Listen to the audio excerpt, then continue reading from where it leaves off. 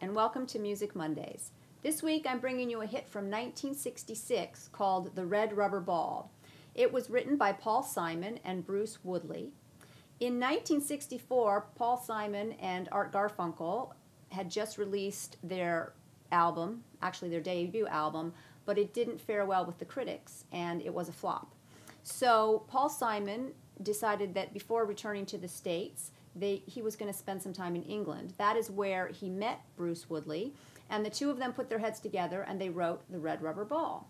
They offered the song to the Seekers, of which Bruce was a member, but the Seekers turned down the song, and therefore it became the first hit on the debut album for the band called The Cyrkle. Later that year, in 1966, however, the Seekers also recorded um, their version of the Red Rubber Ball. That's how I know the song. It was on their album Georgy Girl, and I always thought it was a fun song. So this week, this is going to be the Red Rubber Ball.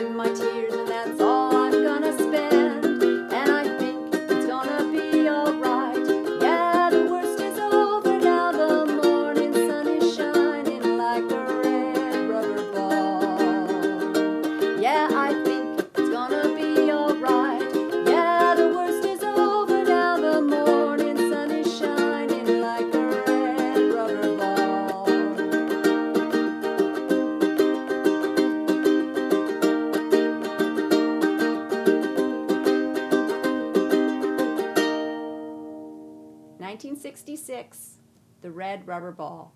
See you next week.